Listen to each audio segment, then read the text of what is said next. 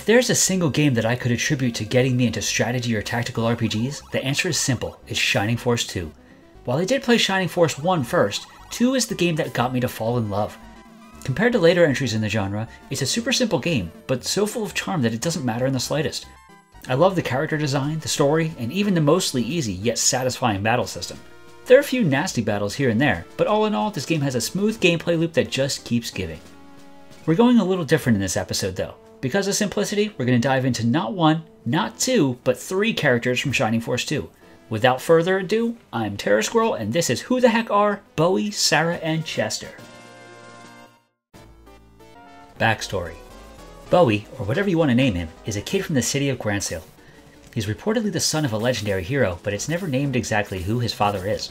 Some say it's Max of Shining Force 1, others say it's Ian of Shining Force Gaiden Final Conflict.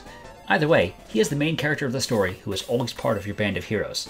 Bowie is, alas, a silent protagonist, the likes of which I'm sure we'll see time and time again in this series. Sarah is an elf child, also living in the city of Granseal. Unfortunately, there's little spoken about her actual past or any living dead relatives in the game. Chester is similar to Sarah in that he seems to be the only one of his kind, a centaur, in the entire city. Once again, nothing is let on about any possible family he has in Granseal or elsewhere. These three are classmates under the tutelage of Sir Astral, one day when Sir Astral's presence was required at the castle. Three students followed after him, against his wishes, but he found out that the king got sick under mysterious pretenses. The four of them then went to the ancient tower to investigate and were accosted by several gizmos. This is the beginning of the Shining Force. In combat, Bowie happens to be a traditional sword wielding main character, as oh so many are. He starts off with a simple attack plus 3 wooden sword. Nothing to write home about for sure. Unlike so many other RPGs though, there's nothing else to equip besides weapons until some special rings are found. This guy here starts off as the swordsman class, and is eventually able to promote to an obviously older hero class, where he can equip past the first 6 swords, capping out with the Force Sword or the Cursed Dark Sword.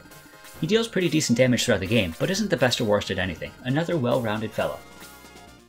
Sarah is a typical staff wielding healer with a focus on, you guessed it, healing. She's able to do some decent damage down the line, but definitely not right away. She begins the game with an attack plus 3 wooden rod. It might be the same attack as Bowie's sword, but don't expect too much as the game goes on. Sarah starts off as a priest class and has the privilege of promoting to one of two classes. Her normal promotion route will take her to the path of Vicar, an upgraded version of the priest. With the Vigor Ball item, she can be promoted to the Healing and Dealing Master Monk class, able to equip hand to hand weapons. The Vicar caps out at the Mystery Staff and Cursed Demon Rod, while the Master Monk caps out at the Giant Knuckles and Cursed Evil Knuckles. Personally, I prefer the latter Master Monk for all my face kicking needs. My boy Chester is a lancing and spearing damage dealer. I like that he and others like him get the ability to equip two types of weapons, one for two range damage and one for one range damage. You'll always step up in attack power when you get the next one though. Carry both with you for ensuring you've got the right tool for the job. He starts off with an attack plus 3 wooden stick, a base level lance. I'm noticing a pattern with the materials making up these weapons. Anywho, Chester is a knight class who, who ha also has the ability to promote it to two different paths. First off, we've got the Paladin, which is a straight up upgrade of the Knight. Then we've got the Pegasus Knight by using the Pegasus Wing, which turns Chester into an epic flying, spear throwing damage boss. Why wouldn't you just go straight Pegasus? Well, it's a long while before you get the Pegasus Wing, so he's a little gimpy until then. Abilities Let's get this one out of the way quickly. Chester has no abilities besides Pokey Pokes. He stabs and stops stabbing. That's it. For the spells I'm going to mention though, I'll say the total level the character must be in order to use it. So if I say 36, that would be 36 unpromoted or 16 after the level 20 promotion. Bowie, our swordy boy, starts off with the egress spell. Not much to show off with this one, it simply removes the force from the battle and returns them to a nearby town though at level 22, Bolt 1 becomes usable, which is a decently high damaging spell, especially at higher ranks. Subsequent levels of Bolt come at levels 31, 42, and 51. Sarah's definitely got more to her repertoire th here than the others, and she should, because she's a caster. She starts off with Heal Rank 1, which is your average run-of-the-mill healing spell. This is actually her greatest strength because every time she casts this, she gets a roughly 10 experience, making her easily leveled to 99 through just casting Heal 1. She gets new ranks of heal at 7, 22, and 40. Next is Detox, which cures poison, paralysis, and other status effects. This is first obtained at level 4, then upgraded at 13, 33, and 45. Next up, Blast. Blast is a wind spell that causes some damage to the targeted enemies. This comes at level 10, 16, 25, and 36. Finally, we have Slow, which decreases the enemy's agility and defense. This only has two levels, first learned at 19, then upgraded at 29. Stats. Let's take a look at Bowie's stats. Initially, he's set up like so. 12 HP, 8 MP, which is just enough to cast Egress, 9 attack, 4 defense, 4 agility, and 6 movement. As expected, he gets much better gains on almost everything post-promotion. There's a short period around 10 or 15 where his agility flatlines, but it spikes shortly after that. And defense? Oh man, that skyrockets after promotion. For Sarah, we're looking at 11 HP, 10 MP, 9 attack, 5 defense, 5 agility, and 5 move. She doesn't necessarily shoot up in any particular stat, but she does have really nice HP gains after being promoted. She's got a bit of a flat line in MP uh, pre-promotion, but you level up fast enough early on that should be that shouldn't prove to be anything but a nuisance.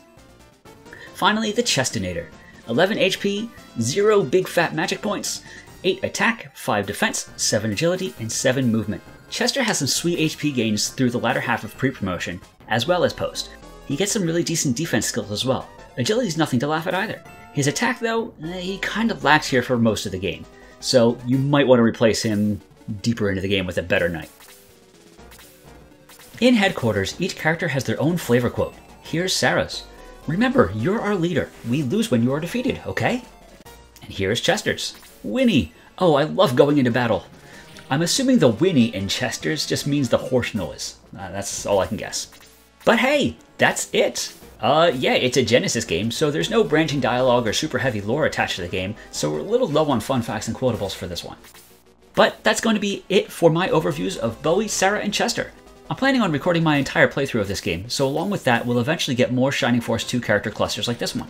I want to thank you quickly for stopping by and checking out the video, and remind you that if you enjoyed it, subs and likes are greatly appreciated. Don't forget to check out more videos from the Who the Heck Is series while you're here. Drop a comment if you want to discuss, comment, or rage at me, and it's all good. Thanks for watching. Bye.